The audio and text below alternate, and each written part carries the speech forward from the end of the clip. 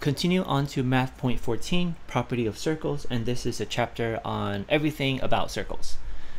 Uh, let's go over some of the properties and terms and equations first before come back and do these practice questions.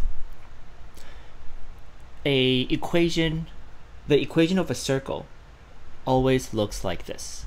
And you can kind of memorize um, how this looks like, even though we'll also talk about how you don't actually really need to memorize anything for the digital SAT test.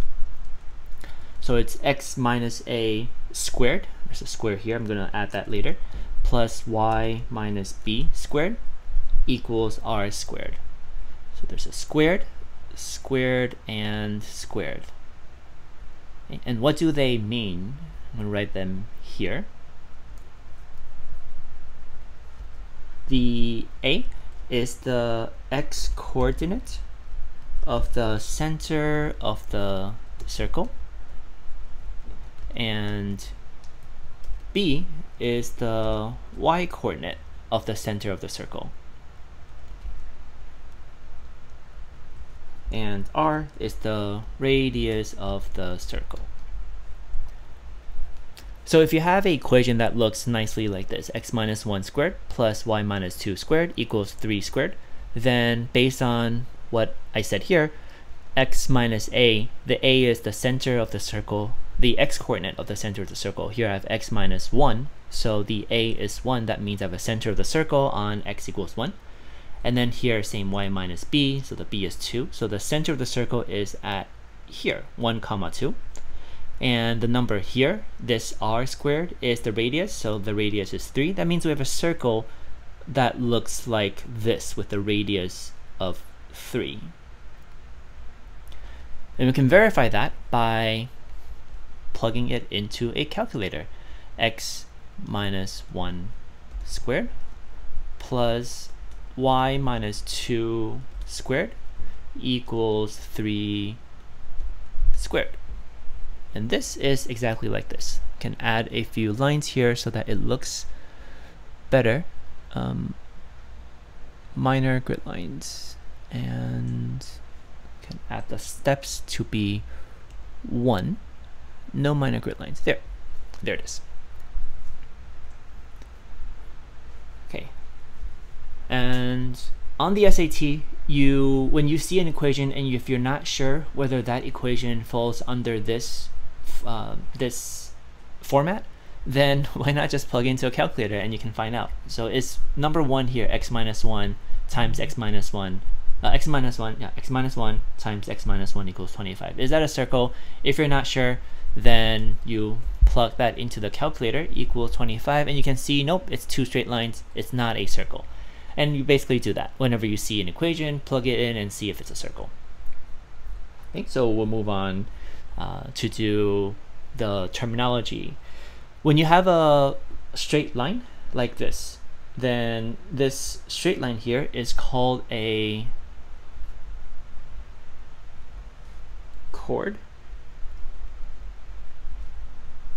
Even though you may not see this as often, it'll just say what is the length of AC. Well, you probably won't see this word chord. And if it's on the side, this, then it's called the arc.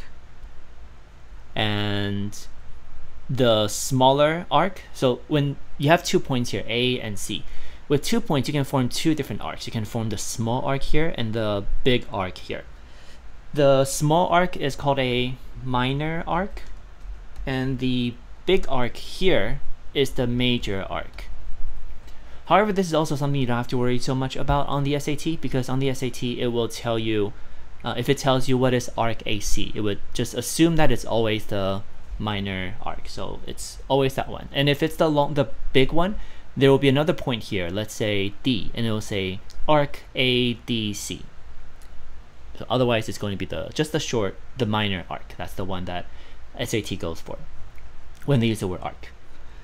Next is lines BC and OC. So I'm talking about BC and OC here, these two lines. And these two lines are formed by a random point outside of the circle. Then you connect that point, point B, to the side of the circle only once, like that. Okay? And then from that point here, there's a point here. uh, in, in this drawing, the point is right here. And then this line is drawn from the center of the circle to the side of, to the point where this line intersects. This line, even though this, this is not really drawn to scale, but this angle here formed by these two lines is always going to be perpendicular. Always.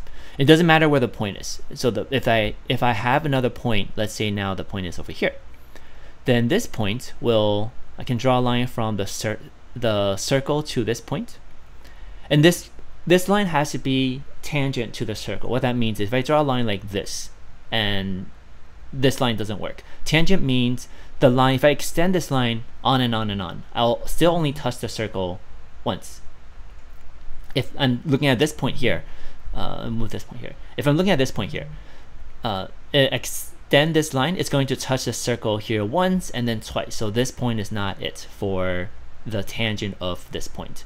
The tangent of this point will be at somewhere here. If I draw the straight line, it will be the point right here. I'll use a different color also to make things more clear. For the blue line and the blue dot, if I draw a line here from the center of the circle to the side, this will again be a right angle, perpendicular. And next, lines AB and BC. These are lines that are formed by any random point on outside of the circle and then draw two tangent lines. So here I have one line here and here I have another line here these two lines, and these are the points that touches the circle. These two lines, A, B, and BC, are going to be the same, which is called congruent in math. The same in terms of length. That works for, again, any point. So if I'm going for this big po uh, red point here, then this line here, the length of from this point to this point here, and the length of from the same point to uh, over here, so it's right here to this point here, these two lines are also going to be the same length. Or you can imagine that there's like a horizontal, uh, a line cutting across here, and these are like mirror images, one on the left, one on the right. Okay, and these are going to be the same length. And the last thing you need to remember about circles and property of circles is that the angle. So maybe you can put this as the sixth point that's not written in the textbook originally, but it comes up very often when you see circles on the test. The sixth point is the arc and the um, area formed by the um, we can call that the pizza shape. Um, the area formed by the arc and the center of the circle. Uh, what this means is if I'm looking at this shape here, then I'm talking about the arc, so AC arc, and the area formed by the arc and the center of the circle, I'm talking about this this shaded region here, this part. The area, uh, the the arc, and the area formed by the arc and the center of the circle are both proportional to the angle interior angle formed to the interior angle. What that means is if say this angle here is one third of the whole circle, then that means this arc here is also one third of the whole circle of the circumference. And the area here, this area, will also be one third of the entire circle. And similarly, that holds for if you're just looking at the arc and the area, um, all three of these are proportional to the entire circle. Um, or so maybe this should be they are they're not proportional yeah they're proportional to the interior to the interior angle um, if if you understand what that logic what point I'm trying to get across then whatever the wording here may be fine. And on the SAT, you see a lot of these uh, proportional questions. It'll say if like if this angle is 110 degrees and you're given the the the arc length, then what is the entire circumference of the circle? About arc, the length of the arc, the area formed by the the the, the pizza shape, and the um, angle inside. You see that all the time in the SAT. Okay, now let's come back to the beginning and let's go over a few questions about circles. Oh, by the way, if you don't remember the equation for some uh, for circles and spheres, you'll see those in the reference table. Um, on the test, you click on the reference button and you can see there are area, circumference of the circle. You have a, a circular um, cylinder um, and you have a circular prism and, and sphere. These are, the formulas are here. Let's take a look at number one here. The diagram above represents this person's concept of space surrounding a person defined by four non-overlapping regions. So we have one region, two region, three, four. Intimate space is the region inside a circle radius one foot. So the inside is labeled intimate space, already labeled for you. And there's a radius of one foot. So you should probably label that on the graph. There is one foot. I'm to put one, assuming that the unit is always going to be feet. There's that's one, a radius of one. And personal space is the region within the circle of radius four, but outside the intimate space. So you have this region, this area here, but doesn't count the personal, uh, the intimate space inside. I'm gonna use a different color. Let's use blue.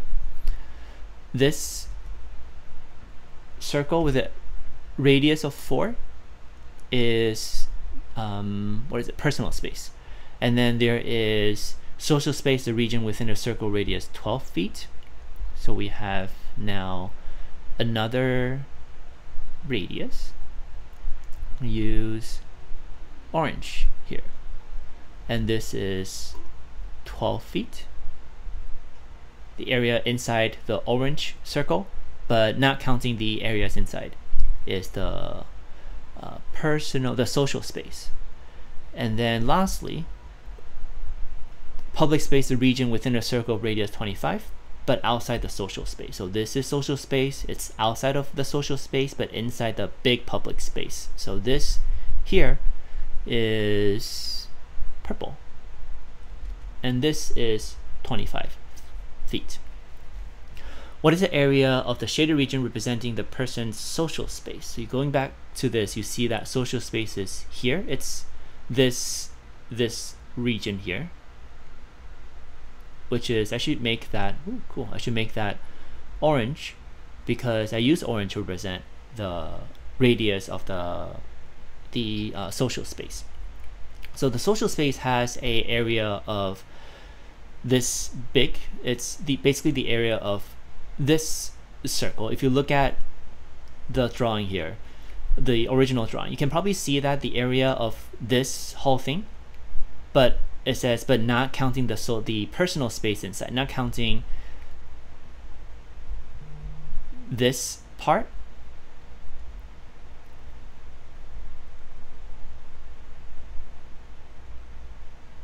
blue. Okay. It really is just the area of this minus the area of this, and you have what's here the the uh, the red circle, but the red circle with the orange um, perimeter. So if you do the math, the math is this, the area of this, minus the area of this. And the area of the orange circle, this big one, is pi times r, radius is 12, square. Here says area, so minus pi r squared and the radius of this smaller circle here, the one with the blue radius is 4. So minus pi r squared and I'm left with this. And if you look at the choices, the choices all have the pi in it. So I don't want the pi calculated out. I want to take out the pi from this expression. So I take that number and I divide that by pi. So it's 128 pi, and that's the answer.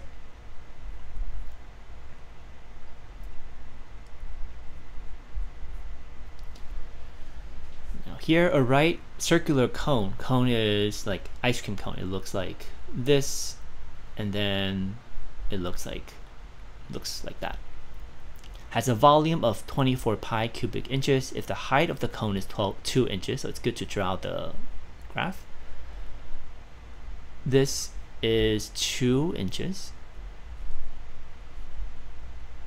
And it's asking for what is the radius of the base of the cone. This is the base of the cone. It's asking for what is this purple line.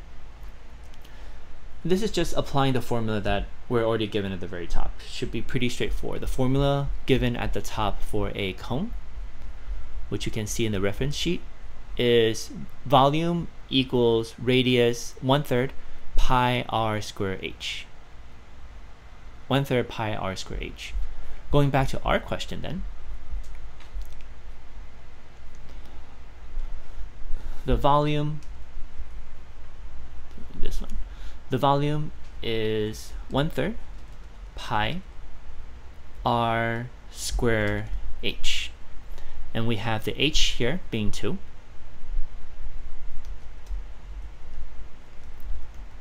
It tells you the volume is 24 pi cubic inches. So you have this now. And we can cross out pi on both sides. So now we're left with that. And then we can multiply 3 on both sides or divide by 1 third on both sides to get 72 and that gets rid of this. And we can then divide by 2 on both sides so that gets us 36 and it asks for what is the radius. So if radius square is this then square root of radius will be 6 what I did there toward the end is just pure calculation from the equation so once you get this equation you're all set you can do the find the expression by yourself but you can also use a calculator. You can type this into the calculator. Type 24 pi cubic feet equals one third pi and so on. And once you type everything out, you can look at the the graph and you'll see on at x equals 6 there will be a vertical line. Then that means uh, x equals 6. Um, let's do I'll skip this one for you to do. I'll do this one because it's different. It has a sphere. The sphere has a center O and a diameter AB. The length of AB is 6. So it says this whole thing is 6. We should label that. That is 6.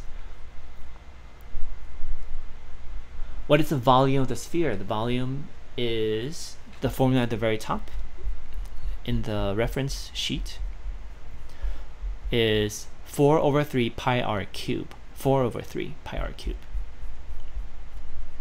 Go back to that question. 4 over 3 pi r cubed. And the only thing you don't know yet is the radius, but you know the diameter is 6, and radius is just half of this. It's half the length of the diameter, so that, that would be 3. And solving the number will get you the right answer let's take a look at maybe one more. Um, I'll let's do let's do this one, number six. The center of the circle is at zero zero. We should put a point here to show that that's the center.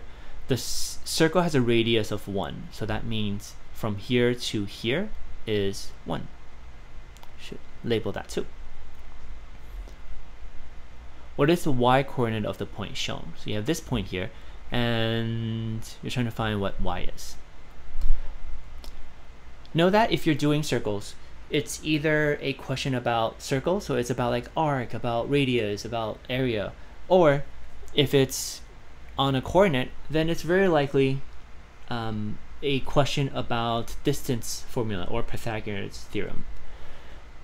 It has a radius, and this is the radius of the circle, the hint or the insight that you need to do this question is realizing that if you draw the radius of the circle and you just draw a line, a perpendicular line from the point to the x-axis. Then here you have a triangle. And what's special about this triangle is because this is a perpendicular line and this is a horizontal line, this angle is a right angle. And because this is a radius of the circle, radius of circle is always the same length wherever it is. So if it's 1 here, then it's also 1 here. So this is 1. And this point here, negative 1 fourth over uh, negative 1 fourth comma y means this distance here is 1 over 4. Is that enough for you to figure out the rest? y is this height here and y is you you can use the Pythagoras theorem a squared plus b squared equals c squared to find the value of 1. So I'll leave that to you. And if you want to use a calculator, calculator doesn't give you radical signs at the end, but if you come up with something you're not sure if that number is this, then you type that into a calculator. So you type in square root of 15 divided by 4 and see if your answer equals to this number. And the same applies for D.